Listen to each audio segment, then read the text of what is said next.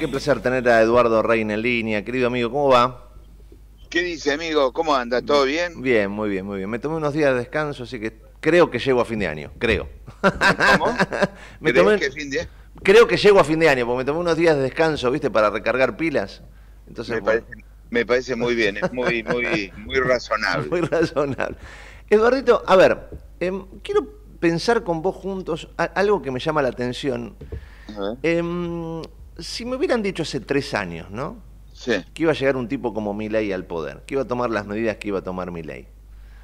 Uno pensaba inmediatamente, quizás por supuesto empapado por mi trabajo diario, he, cubierto tantos conflictos en la calle y demás, que quizás estoy un poquito empapado de, de- de esa realidad que viví durante tantos años, pero digo, sí. yo te apostaba, digo, la calle va a ser un quilombo, paro todo el Sí. tiempo, piquete permanentemente, con el tema de aerolíneas argentinas. Si alguien va tan a fondo contra los gremios, y no vuela más un avión en la Argentina, un desastre.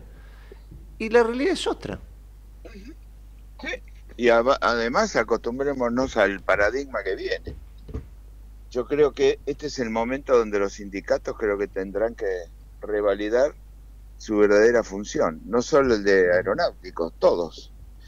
Te diría que el sindicato está en su peor momento, primero porque los trabajadores se dieron cuenta que, que, era, que es un negocio particular de algunos sindicalistas, y segundo porque se dieron cuenta que hay alguien que los puede llegar a apretar. Hasta ahora no sucedía esta circunstancia. Entonces me parece que este es un momento como para estar atento, pensar que eh, puede venir un nuevo paradigma sindical en la Argentina, podemos llamarlo así. Ujú.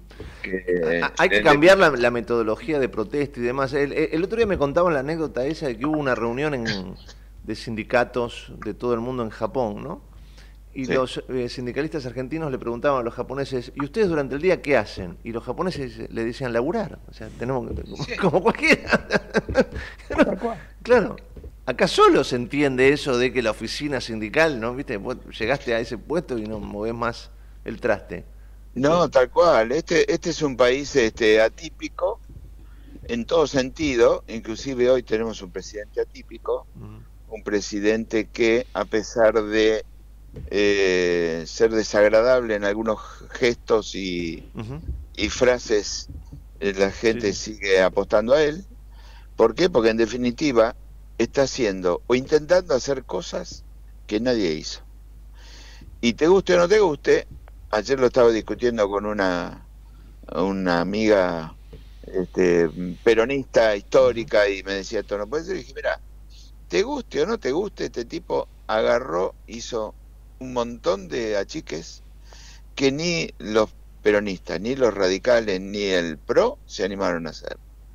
Y te guste o no te guste, la gente lo valora, porque la gente en definitiva lo que está haciendo es buscando el mango todos los días y dice no puede ser que se gasten 13 palos en un catering o se gasten 200 palos en boludeces o que Trenes Argentino en su momento tenía 600 autos, ahora me dijeron que tiene 200, pero igual es una barbaridad y los directores se manejan en auto con nafta y vales de, de- de pagos.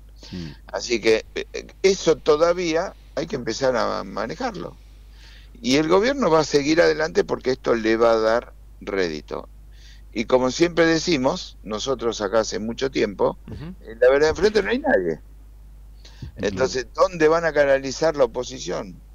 Cristina, que ahora se viste con jogging y zapatillas, y ama el peronismo, una mujer que detestó el peronismo y usaba su rol expresidente, y el miércoles va a salir este, a confirmarle su, su condena, la justicia.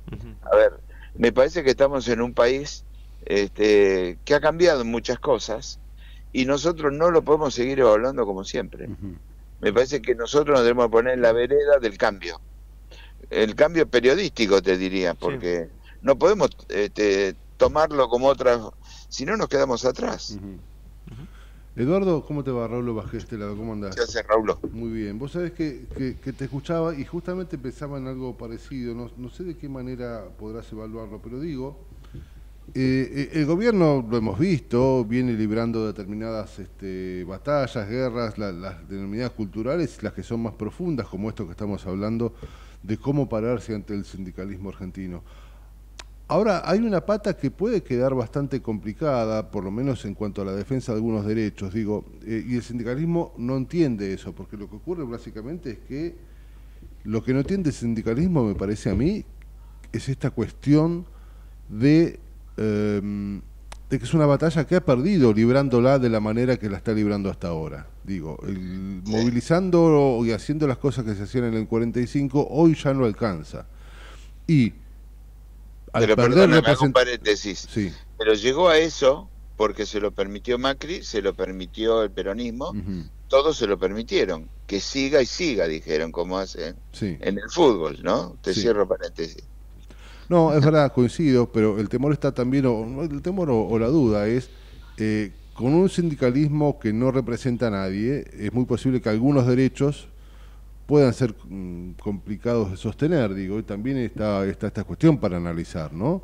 El hecho Sí. de eh, algunos atropellos que pueden existir que en virtud de un sindicalismo este, denostado o vilipendiado, capaz que no se defienden, digo, lo que pasa en Argentina siempre, ¿no? Una Argentina pendular, que vamos de una punta a la otra y por el medio donde parece que fuera todo más liso nadie va, ¿no?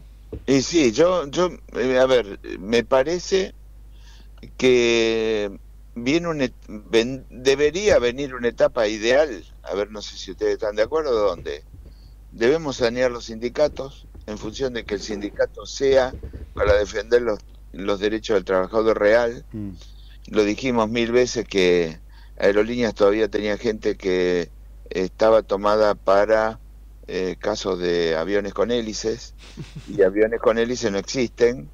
No sé si seguirá esa, esa, ese- esa, esa gente todavía trabajando en aerolíneas, pero hasta hace poco trabajaba. Y, y me parece que si nosotros no cambiamos eso, no vamos a poder cambiar el resto. Entonces me parece que, a prima facie, me parece que lo que tenemos que hacer es sacarle los 30, 40, 25 años que tiene cada uno de los sindicatos a su, a su secretario general o a los hijos de tal, Sí. o- porque en definitiva ¿no? dinastía, claro, serlos un poco más justos. Tampoco estoy pidiendo que venga la, lo- la, la- la izquierda que te ante cualquier cosa te corta la calle y te corta la producción. Ojo, que si los eh, trabajadores lo eligen, bienvenido sea, esta es la democracia. Pero debería venir dentro de lo que es sindicalismo honesto, entre comillas, gente que vaya a luchar por los derechos realmente Claro. necesarios para los trabajadores. Si son seis horas, son seis horas. Si son ocho horas de trabajo, ocho horas de trabajo. Y son cuatro, cuatro. Si es un trabajo peligroso, que luchen por por por eso. Bueno, viste que de alguna manera, perdona, me estaba pensando, de alguna manera esos derechos hoy pareciera que los defiende la gente. Algo así pareció suceder en un principio con el tema de la universidad, ¿no? Después este, la segunda marcha fue más cooptada por sindicalistas y, y- y algunos políticos. Pero claro, pero es interesante lo que señalás. eh, ¿Por qué? Por ejemplo, en el caso de las universidades, durante mucho tiempo, durante mucho tiempo, salían a la calle diciendo, por ejemplo, en este caso, ¿no? La- eh, defendamos la educación porque la educación va a te le van a cobrar una cuota, va a desaparecer la, la- la educación pública en la Argentina. Y la verdad es que en ningún momento, en No. ningún momento nadie dijo semejante cosa. O sea, la discusión pasaba por otro lado. Pero te salían a la calle a romper todo, levantando banderas y defendiendo situaciones Sí. y preconceptos que, nadie había. no había del otro lado gente que peleaba por eso. Y por lo tanto ahora la gente se da cuenta de eso y te dice, no, a ver, a ver, ¿qué estamos discutiendo? Esto estamos discutiendo, no lo que vos decís que hay que Tal cual, defender. Tal cual. sí, Tal sí. cual. Claro. Sí, con el tema de las universidades yo tengo, yo soy un, un hijo de la universidad pública y van a ser el año que viene 50 años que me recibí. Estoy un viejo, ya estoy muy viejo y mm, y me doy cuenta que la universidad pública ha, ha virado en el aspecto de que ha sido aguantadero político en Sí, muchos también. casos. Sí, claro. sí, sí. Y en algunas universidades, porque me ha, me ha tocado y me lo han ofrecido y lo, lo rechacé, me dijeron, no te podemos pagar, te podemos dar un contrato en una universidad. Y yo digo, no, no, digamos, no. Yo, a mí me paga quien me, me, me Claro. contrata. No un una, prestación, claro. A cambio de claro una prestación. no soy cómplice del choreo. Entonces, este, pero a mí me consta. y universidades este, de la provincia de Buenos Aires, que en general se generaron para generar cajas políticas para pagar a militantes o a consultores o a amigos. Entonces, si nosotros eliminamos todo eso, va, va, a quedar un presupuesto más genuino. Si mejoramos la calidad educativa, necesitamos darle más plata a algunos profesores, o por lo menos algunas tranquilidades. En algunas universidades, tipos brillantes que no piensan como piensa la universidad, son atacados permanentemente. Mm. Claro. Y, y entonces este, no se puede laburar así. Entonces, hay cosas que te desgastan. Yo, por ejemplo, voy a contar una anécdota. Yo hace un año que dejé de dar clases en la UCA. 30 años dando clases. Y, y yo dije, uy, pucha, tengo que hacer mi duelo de no dar clases. Y yo te puedo asegurar que dando pocas horas, porque no tengo demasiadas, este, he descansado muchísimo, porque preparar una clase a mí me llevaba mucho tiempo y este y más la hora que tenía que estar o las horas que tenía que estar en la universidad nunca me reditó económicamente. No, claro, no. no claro. claro. Ahora, el desgaste que te lleva a dar clases, hay que valorarlo, porque al profesor no se le puede decir, vos das cuatro o cinco horas de clase y cobrar por cuatro o cinco horas de clase. No, no, no. Porque yo me llevaba los los exámenes a casa. y, lo que te debe haber pasado también, a, mí me, ocurrió en un determinado momento que también daba clases en la, en la Facultad de Periodismo y dejé de hacerlo. Y el otro día lo charlaba con Carlos Torrendel, que ya te conté, que es amigo mío, este, el actual secretario de Educación, este, somos compañeros sí, de Por eso, lo conozco de, chiquito. Yo soy eh, uno de sus primeros alumnos, porque estábamos, éramos amigotes del aula, y Carlos que tenía esa vocación de, de educador de siempre, además de, juntarnos para organizar el baile del sábado y del, viernes y del sábado, se había comprado un pizarrón y le daba clase a los, a los inmorales de los amigos para que no repitieran el año. tipo bárbaro. Una, cosa, una cosa de, otro planeta. Pero, mm, claro, charlábamos con él sobre el, nivel de educación que nosotros teníamos, porque a pesar de ser burro leíamos, nosotros leíamos, qué sé yo, manejamos. Hoy los chicos te enfrentás con alumnos universitarios que no saben, te, lo digo así crudamente, no saben leer y escribir. te escriben 16 líneas sin un punto y aparte, desconocen sujeto y predicado, desconocen las estructuras básicas de la educación. Tal cual. Estoy de acuerdo con vos y lo he, probado mil veces diciéndole cómo se informan ustedes y me decían por Olga, por esto. Por... Dios mío. a ver, eh, por eso también la, digamos, dentro del periodismo, la media culpa que se puede hacer uno es que el periodismo agarró el camino más fácil también, ¿no? Se colgó del Twitter y del chimento. Claro. Y, de, y todo el mundo hoy, a mí, discúlpenme, yo por ahí, todo el mundo tiene que hacer un editorial. Me embola profundamente que todo el mundo tenga que hacer un editorial. Porque el periodismo debería informarte y no ser subjetivo con la opinión, porque después se monta de la editorial y sigue atrás con el mismo tema del editorial, tratando de hacerte creer que lo que él dijo es verdad. Pero vuelvo a, la base de la educación. A mí no me importaría eso si el pueblo estuviera educado. Porque vos podés decir y tener tu programa y opinar como quieras y tener la libertad de hacerlo. Y cada uno, desde su base de educación, bueno, tomará lo que decís vos, tomará lo que dice el otro, tomará lo que dice aquel otro y sacar sus propias conclusiones en base a, su experiencia de vida. El problema acá es que le meten, yo noto a muchos chicos y chicas en la calle, que te levantan banderas de mentiras, de situaciones que nunca ocurrieron, porque nunca abrieron un libro. Entonces vino alguien y le llenó la cabeza con basura y creen que esa es la verdad. La gente compra relatos en función de conveniencia. Exacto. Ideológica. Si es peronista, te va a comprar el relato que dice Cristina o algún peronista, o si es el del PRO, te lo va a vender de la otra forma. Y si es de la Libertad Avanza, te va a vender el otro. Por ejemplo, lo hablamos, creo que lo hablamos hasta con vos. Cuando, los chicos de la Cámpora te, te levantan y dicen, no, porque Cámpora era la verdad, lo más importante de la historia del peronismo pero ni, no, ni se lo fumaba Cámpora. A ver si nos entendemos. Entonces, pero te venden una historia desde ahí. Desde ahí tenés un relato claro. Sí, yo creo que estamos en momentos de cambio y todos tenemos que entender que no estamos viviendo una política tradicional. Si lo medimos con la política tradicional, donde el presidente no va en zapatillas y va en zapatos, y se pone claro, y no putea, bueno, qué sé yo, está, mm. está todo mal. Ahora, me parece que no está todo mal. Hay algunas cosas que están mal, que no me gustan, y hay cosas que están bien y hay que apoyarlas. Entonces me parece que eh, acá hay que darle especial hincapié a la educación y a la seguridad. Y no nos olvidemos de algo. Este presidente está haciendo una gran gestión fiscal. Ahora, la reactivación no viene, por más que a mí me digan vienen los brotes verdes. Eh, yo vivo en el Gran Buenos Aires y la, verdad que en el barrio no lo veo.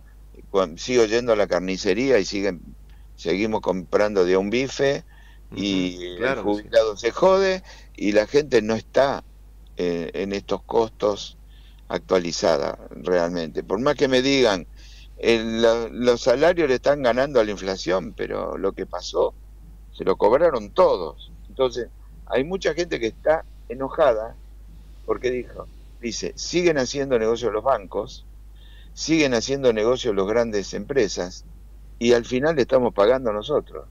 No era que la casta lo iba a pagar, lo estamos pagando nosotros. Sí, eso es cierto, hay cosas por, por, por revisar. Eh, Pero no deja de apoyarlo, ¿eh? Ojo. No, eh. no, no, tal cual, tal cual, eso es cierto, es cierto. Dentro del apoyo que se le da se le plantea eso, pero sí es cierto, lo siguen apoyando. Me quedé pensando, eh, Eduardo, en lo que hablabas de, la educación y de lo que pasa a nuestros chicos, ¿no? Y yo pensaba también en, los, en el Congreso Nacional que tenemos hoy, que supimos tener, con aquellos políticos que podrías estar de acuerdo o no, pero este, los diputados de hoy en día también, diputados y senadores, también son hijos de una mala educación y que claramente es consecuencia de lo que también estamos viviendo, digo, ¿no? Eh, tenemos una clase política no solo complicada en algunas cuestiones de corrupción, sino que además con una educación eh, también muy, muy, muy difícil de sostener. Digo, eh, hace unos años los diputados eran señores diputados. Podría estar, insisto, de acuerdo o no, pero tenían una educación. Hoy es más difícil encontrar eso también, ¿no? Sí, sí. El, la, verdad que nuestros diputados es una asignatura pendiente por, digamos, no voy a hacer nombres, pero digo, por brutos y por demasiados genios. A ver, cuando digo brutos es porque no saben comer con los cubiertos. Y demasiado serios son los runflas históricos. Sí, tal cual. Entonces digo, bueno, tenemos que buscar un congreso que sea realmente un intermedio. Ahora, si yo te digo, vamos a comer un asado, venite a casa y en siete minutos te hago un asado, algo está mal. Porque yo no pude prender el fuego en siete minutos ni hacerte el asado. Todo lleva tiempo. y, eh, Tenés perfil de buen asador. Sí, sí, me encanta. me encanta, me encanta. Soy un, grande. Me considero un grande. Muy bien, muy bien. me gusta la gente que se, que se valora bien en ese rubro. Porque... Sí, sí, totalmente, totalmente. Muy bien. Bueno, perdón, te corté, te corté con ese No, no, era eso. Es decir, tenemos que empezar a darle tiempo a las cosas también. Eduardito, querido, un placer, como siempre, tenerte y escucharte, que nos ayudes a pensar un poco. Dale, gracias a usted por el llamado. Y queda pendiente ese asado. Ahora me, ahora me calentaste la lengua, ah, ¿viste? ¿viste? bueno, yo te digo que el 27 me tomo unas vacaciones un poco largas hasta después de fin de año, después de enero lo hablamos. Dale, querido. Abrazo enorme. Abrazo enorme. El gran Eduardo Reina, ¿eh? analista, analista político y gran asador. Y gran asador. Sobre y todo, sobre todo. El otro no importa. Gran asador. Analizar, analiza cualquiera. Hacer no, no hace. Obvio. Grandes ligas.